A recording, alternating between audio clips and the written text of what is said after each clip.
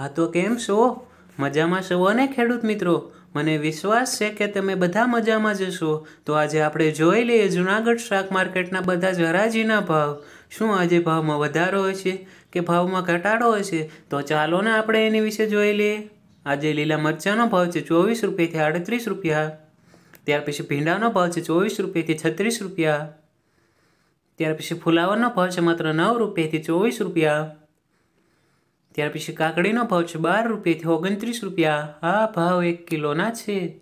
ત્યાર પછી બટેટાનો ભાવ છે દસ રૂપિયાથી પંદર રૂપિયા. ત્યાર પછી ગાજરનો આઈષ્ટ ભાવ છે અઢાર રૂપિયાથી છવ્વીસ રૂપિયા. ત્યાર પછી બીટનો ભાવ છે અગિયાર રૂપિયાથી છવ્વીસ રૂપિયા. આજે જૂનાગઢમાં ટમેટાનો ભાવ છે તેર રૂપિયાથી ચોવીસ રૂપિયા.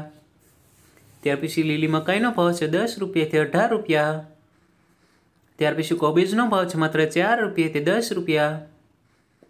ત્યાર પછી આદુનો હાઈસ્ટ ભાવ છે ચાલીસ રૂપિયાથી અડતાલીસ રૂપિયા. ત્યાર પછી સરગવાનો હાઈસ્ટ ભાવ છે ત્રીસ રૂપિયાથી પચાસ રૂપિયા.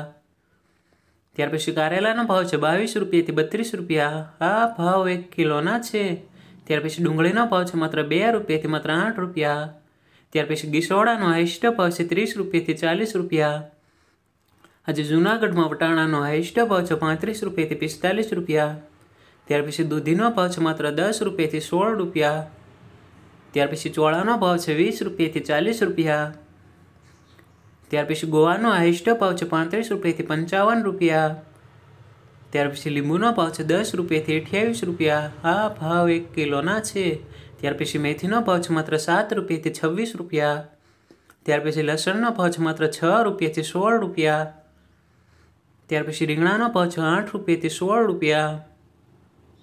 આજે જૂનાગઢમાં ટિંડોરાનો ભાવ છે માત્ર નવ રૂપિયાથી સોળ રૂપિયા, ત્યાર પછી કોથમરીનો ભાવ છે માત્ર આઠ રૂપિયાથી પચીસ રૂપિયા, ત્યાર પછી લીલી હળદરનો ભાવ છે પંદર રૂપિયાથી પચીસ રૂપિયા, ત્યાર પછી વાલોનો આઈસ્ટો ભાવ છે વીસ રૂપિયાથી ચાલીસ રૂપિયા અને છેલ્લે વાલનો આઈસ્ટો ભાવ છે ત્રીસ રૂપિયાથી પિસ્તાલીસ રૂપિયા.